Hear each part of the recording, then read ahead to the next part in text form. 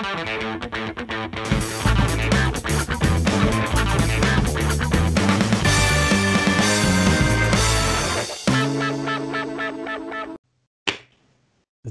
všetky hamburgerové deti.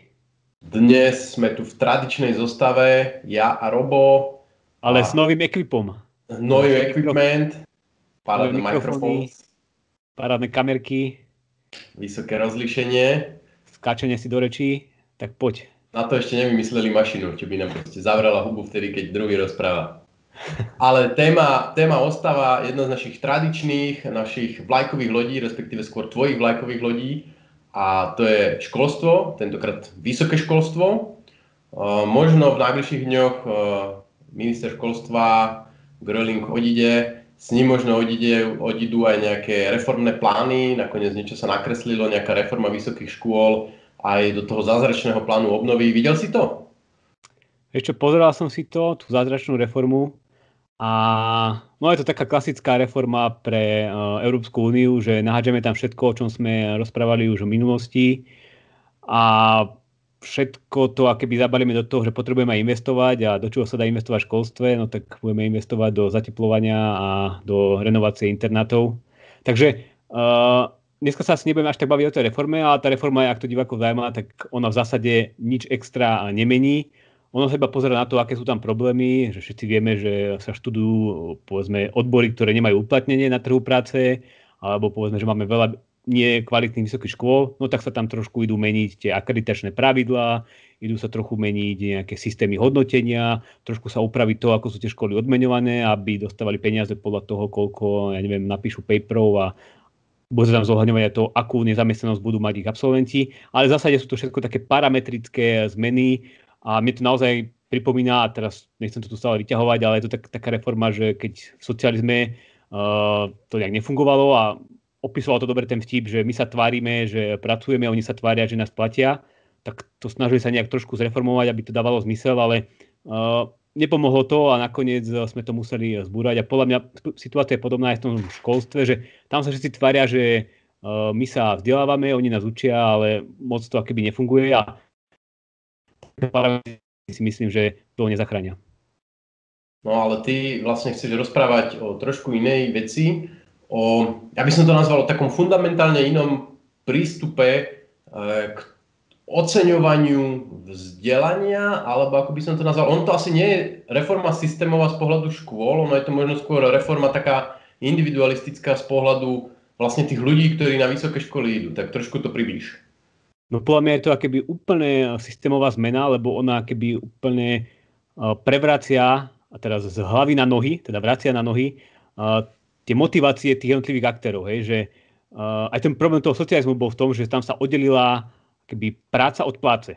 Že proste ľudia nedostávali podľa toho, koľko pracovali a to vo výsledku znamenalo, že ľuďom sa nechcelo pracovať. No a v tomto školstve našom verejnom je to podobne, že tam sú školy odmenované podľa toho, koľko dokážu dostať na svoju školu študentov. Teda sú odmenované nejaké oddelenia marketingové a náborové, ktoré dokážu spraviť najlepšie videjka a ktoré dokážu zavolať si tam svojich absolventov, aby porozprávali o tom, aká je to super škola. Čo sa najlepšie príjmačky. Hej, hej, hej. A nie je odmenovaná akoby tá stránka toho vzdelávania, tie, tie, tie katedry alebo tie oddelenia, ktoré sú zodpovedné za to, že čo sa učí a ako sa to učí.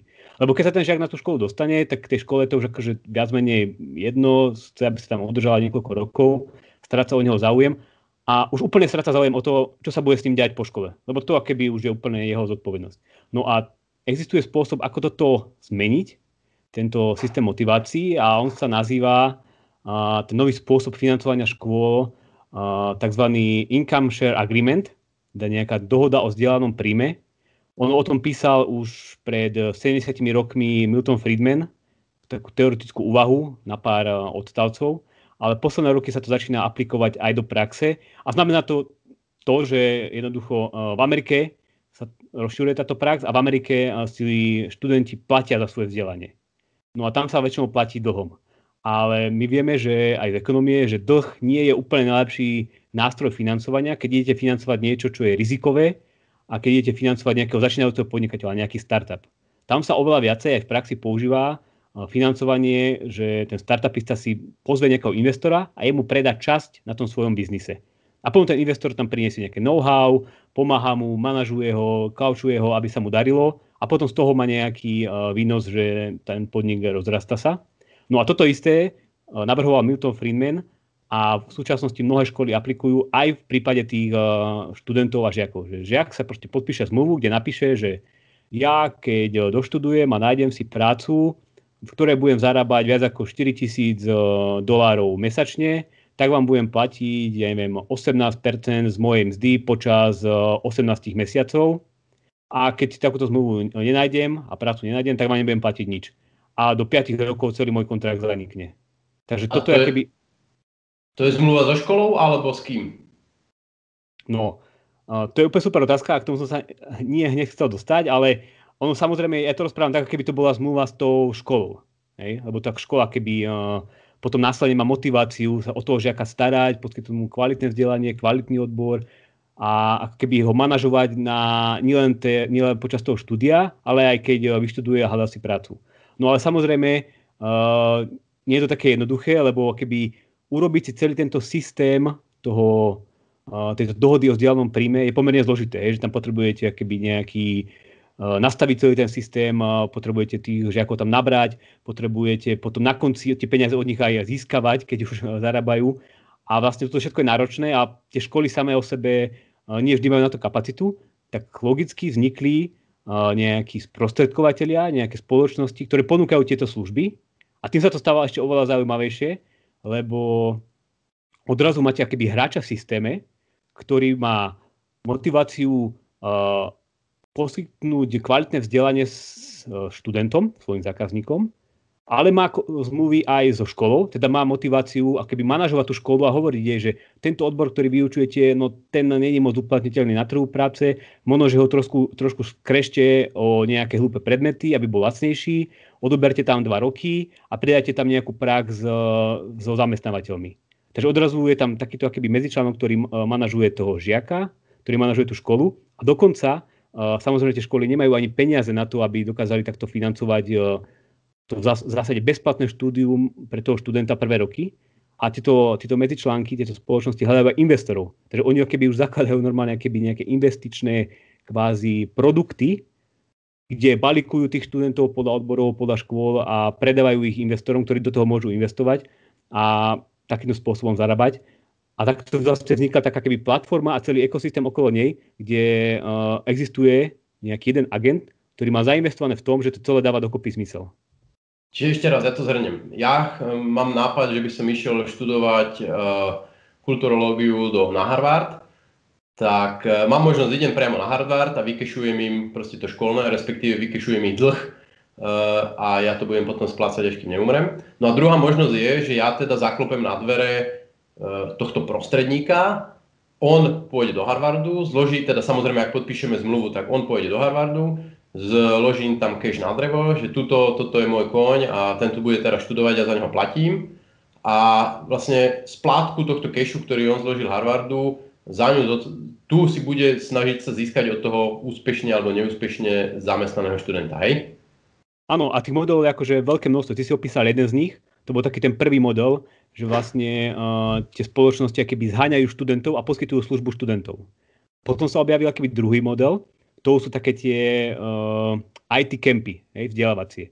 Že máte proste kemp, kde vás za 9 mesiacov naučia proste nakodiť hoci čo a zamestnať sa v IT biznise.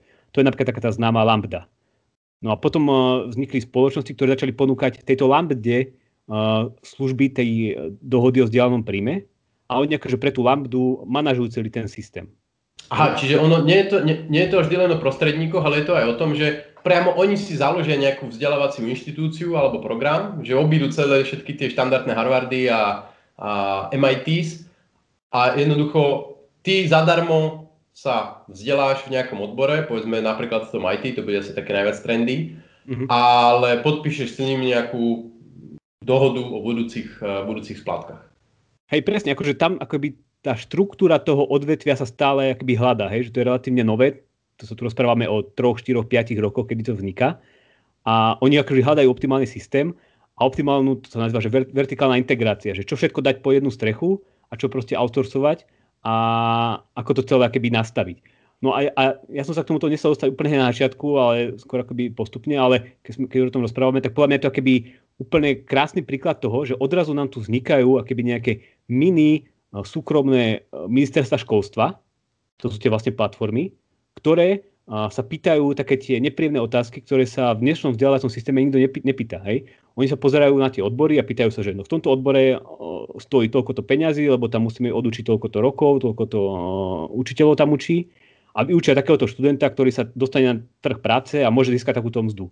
A oni sa toto pozrú a začnú si tam akým rátať nejakú výnosnosť toho štúdia, začnú sa pozerať na to, že aké predispozície má ten žiak a snažia sa ho keby napasovať do nejakého správneho odboru, podľa toho, aké majú tí žiaci schopnosti a podľa toho, čo sa vyžaduje na trhu práce a podľa toho, aké sú uh, kvalitné školy.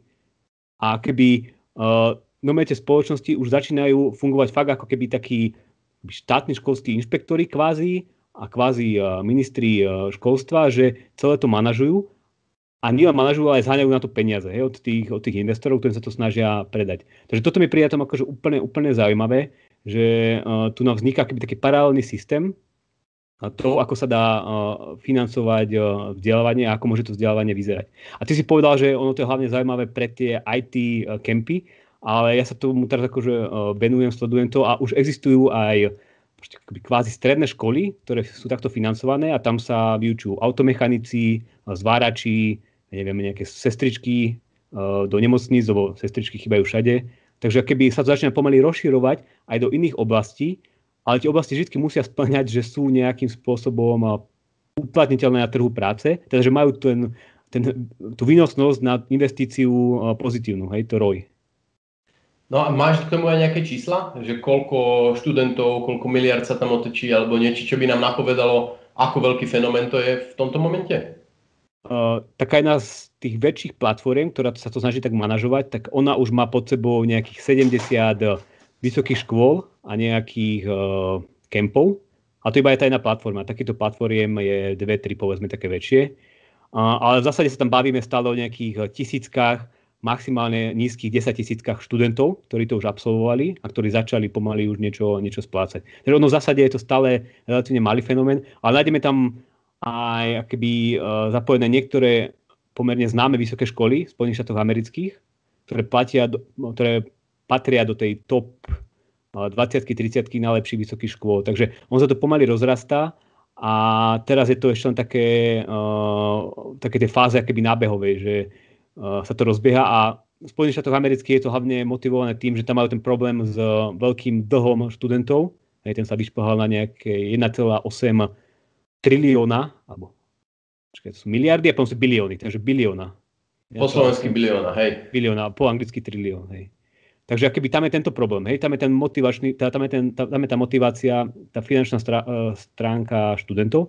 Ale myslím, že na Slovensku by bola motivácia práve tá nekvalita vysokých škôl. Hej, že na Slovensku za poslednú dekádu uh, vyštudovalo 300 tisíc uh, vysokoškolských študentov vysokú školu. A z týchto 300 tisíc približne polovica pracuje v zamestnaní, ktoré nepotrebuje vysokú školu. Teda to sú ľudia, keby, ktorí tam strávili 5 rokov, kolesa sa točili, učiteľia učili a nakoniec oni robia nejakú prácu, na ktorú nepotrebujú vôbec ten titul. A... No ale nie je, nie je kľúčovo pre rekvizitov to, aby bolo zavedené školné? Lebo bez toho školného ja si to úplne neviem predstaviť, že tí študenti zrazu hufne začnú podpisovať zmluvy, že dajú zo svojho budúceho príjmu niekomu niečo, ak ten ich bude navigovať nejakým vzdelávaním. No presne, to je akože ten problém, že Uh, máme takú nekalú konkurenciu vo forme uh, štátu, ktorý poskytuje bezplatné vzdelávanie a vtedy je to pomerne ťažké, hej, takéto niečo rozbehnúť. Ale videl som číslo za Nemecko napríklad. Tam je to taký keby mix, že tam niektoré školy sú uh, platené uh, z súkromných peňazí reciach študentov, niektoré sú verejné. A tam sa táto ISA, tento income sharing agreement začína rozbiehať.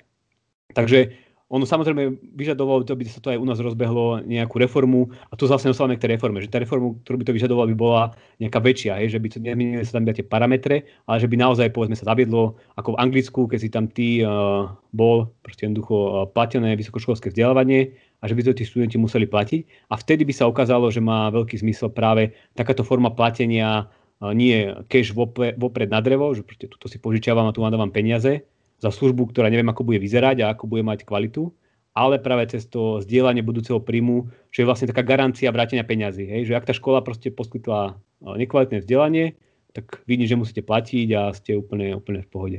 No dobre, počkaj, ale ak by sa zaviedlo školné, nestačilo by to samotné o sebe, že ľudia by sa viac začali, alebo teda študenti by sa viac začali preorientovať na niečo, čím vlastne to školné vráti? Lebo ak ja mám vysúdiť, ja neviem, 5000 ročne za to, že chodím na nejakú sociálnu prácu, ktorú proste, alebo neviem, nejaký iný odbor, ktorý reálne nevyužijem, tak asi si to dvakrát rozmyslím, nie? No to je práve, že nie je také zrejme a jasné, lebo v tej Amerike máme množstvo mladých ľudí, ktorí idú na tú kulturológiu a ktorí študujú všelijaké liberal arts a neviem čo a nakoniec skončia, ako sa hovorí v Mekači, obracať hamburgere. Takže ono to nebude také jednoduché. A tu sa dostávam k ďalšej výhode tohto ISA, ja som z toho úplne nadšený, úplne ma tu trasie, lebo inak mimochodom, uh, ja som o tomto napísal aj jeden newsletter môj posledný, ak vás to zaujíma a chcete si o tom niečo prečítať, nie iba počúvať moje uh, tľachaniny, tak si vygooglite Robert Chovancujak newsletter na Substacku alebo Pokrok bez povolenia newsletter.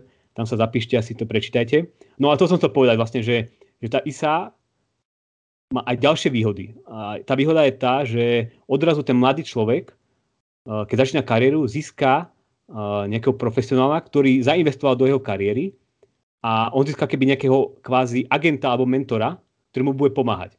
A takéto niečo sme už v minulosti, alebo takéto niečo vidíme aj dnes, že svojich agentov majú, ja neviem, hokejisti, futbalisti, uh, herci, hudobníci, ktorí im pomáhajú v tej kariére, snažia sa ich nejak manažovať. A takéto niečo pri mladých ľuďoch není. Že všetci máme možno že svojich rodičov a nejakých blízkych priateľov, ale tí nedokážu až tak dobre zhodnotiť celý stav na trhu so vzdelávaním a celý stav na trhu, na trhu práce, aby nám vedeli dobre poradiť. A vďaka tejto ISA by sme získali normálne ľudí, ktorí majú akoby finančne zainvestované v našej budúcnosti a mali by motiváciu finančnú proste manažovať tvoju kariéru. To znamená poradiť ten odbor, poradiť ti, že uh, aká škola je asi pre teba lepšia, čo asi zvládneš. Lebo aj to je ďalší problém, hej, že aj v tej Amerike sa veľa ľudí nahlási na vysoké školy a nakoniec polovica ich nedokončí. A ostane ich proste iba dlh a bez uh, vysokoškolského titulu, teda bez toho signálu, o ktorom sme sa kedysi v minulosti bavili. Ty vždy, ak povieš ISA, ja si predstavím nejaký inštitút e, spoločenských analýz alebo niečo no, podobné. Snažil som ale... sa to propakovať ten e, dohoda. Áno, áno, je to ťažké. Mali by vymysleť lepší názov, nejaký Start Educationalist.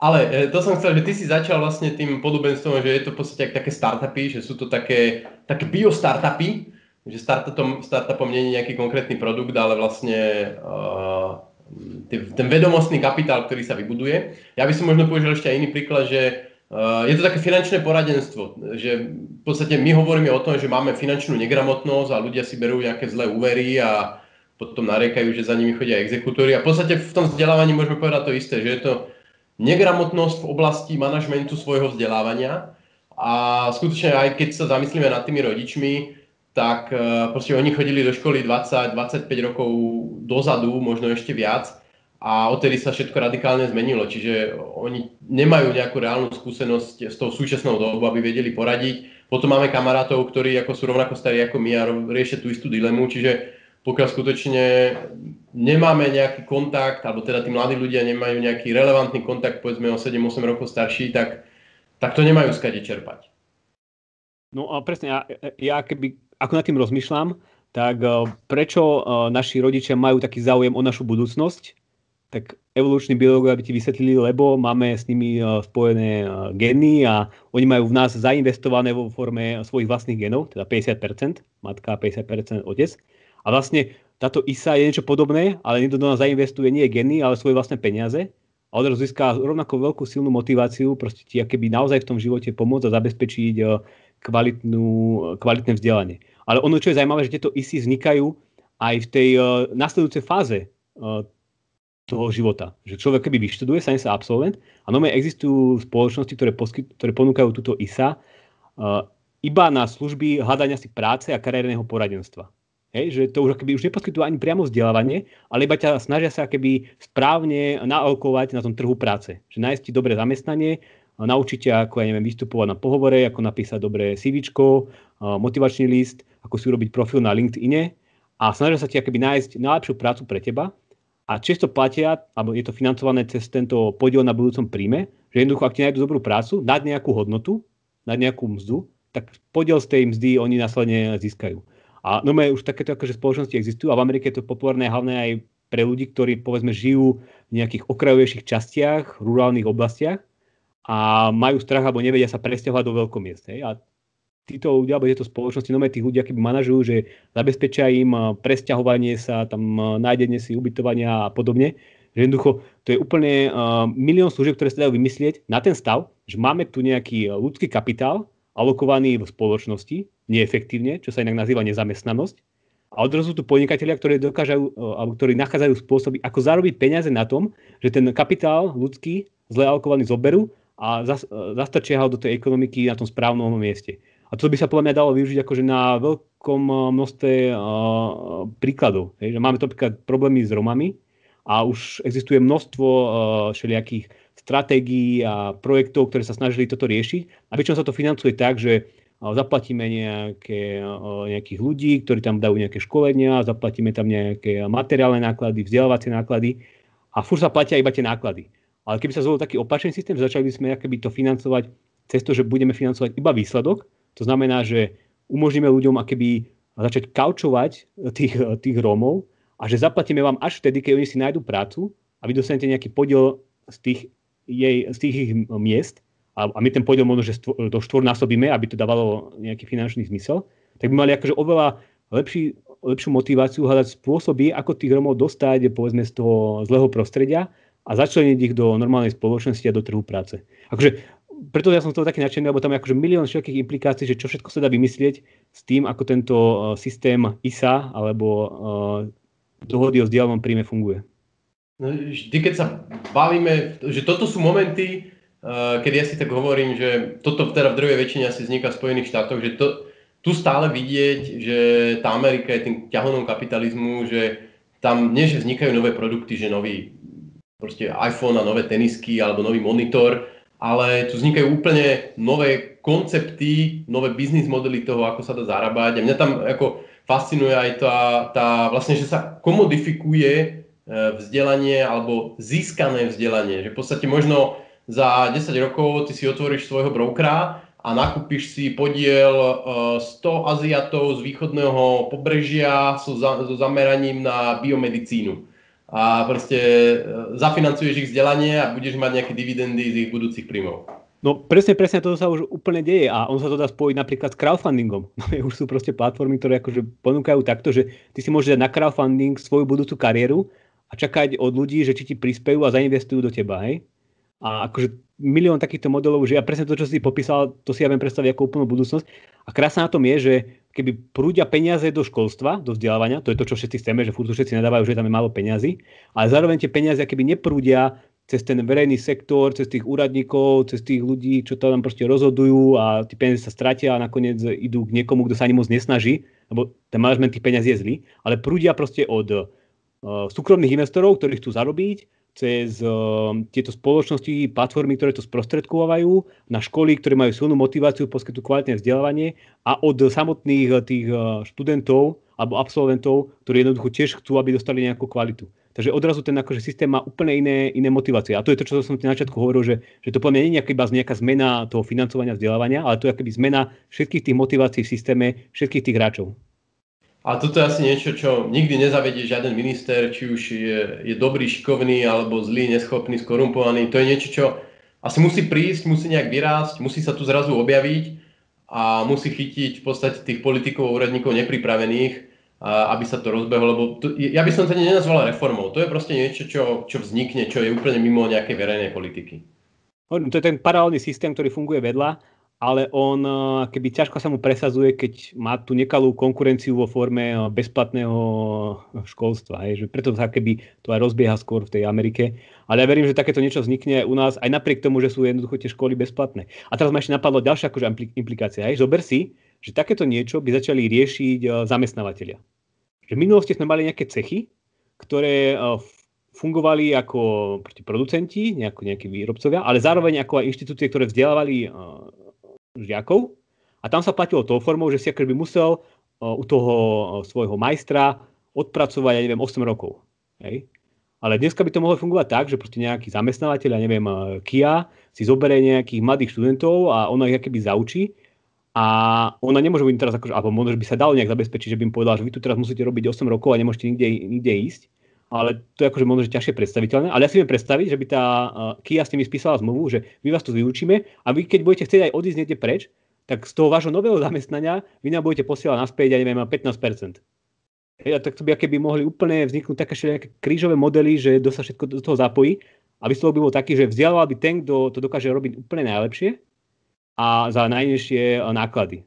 A Čiže zaho- zahodiť nejaké duálne vzdelávanie toho zbytočného, zbytočného prostredníka v podobe ministerstva školstva a toho existujúceho systému a v podstate umožniť priamo v KI uh, sa vzdelávať a, a pracovať následne pracovať a hovorím, aké sa rozhodnete odtiaľ ísť preč, tak akože, aby taký ja z toho niečo mala, aby mala motiváciu, tak musíte platiť nejaký ten podiel zo svojho budúceho príjmu.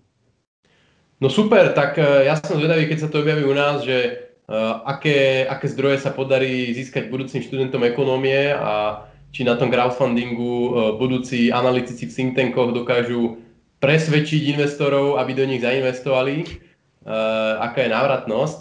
No, a teraz nesmieme zabudnúť, že máme newsletter v rámci INES. To je jedna vec. Potom máme newsletter môj, do ktorého sa tiež musíte zapísať, kde budem písať o tejto téme ešte určite viaceré posty. To je druhá vec. A ešte, ešte stále sa dajú poslať 2%, aby sme mali lepšie trička, lepšie nechty.